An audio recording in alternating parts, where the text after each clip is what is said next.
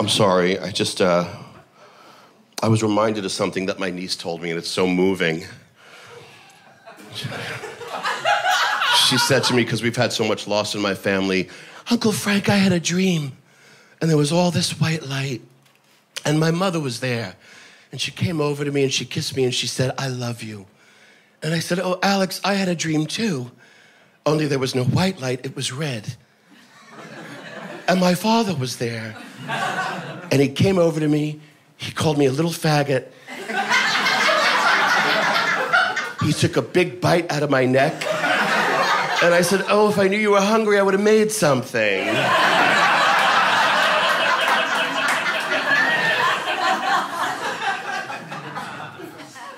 I'm so I'm worried about like who's gonna be left when I'm in intensive care at the end.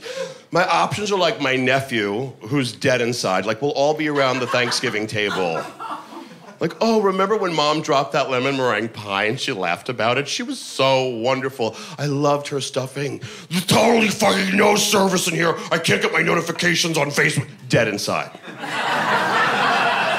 20 something. And I'm so afraid like it's gonna be that or a Jamaican nanny on the Upper West Side who's texting while she's dragging the kid by his wrist. Next you look, she's texting, dragging him by his hair.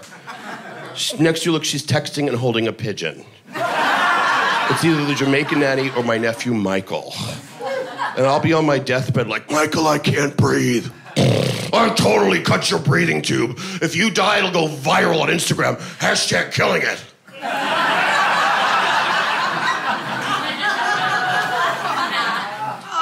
So I took him to buy a jacket at the mall because I want to get in good. And um, it was so cute. There was um, a lady with a t shirt on that said, Normal people scare me. I thought that was so sweet. I walked over to her and I said, I really like that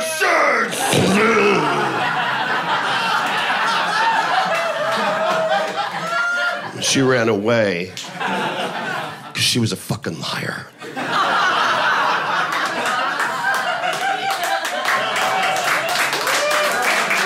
So I was carrying my best friend's coffin, and um, I thought, man, I really need to work on my triceps. See, I had like the upper northwest corner of the funerary box, and I just, I cannot do math. And it really is, it's geometry. I was like, do I, am I overhanded or am I underhanded? When I was walking, and then I started to bend over, and it was just, it was a blind panic. And when we tried to lift the sarcophagus up, I thought, wow, I really need to work on my core.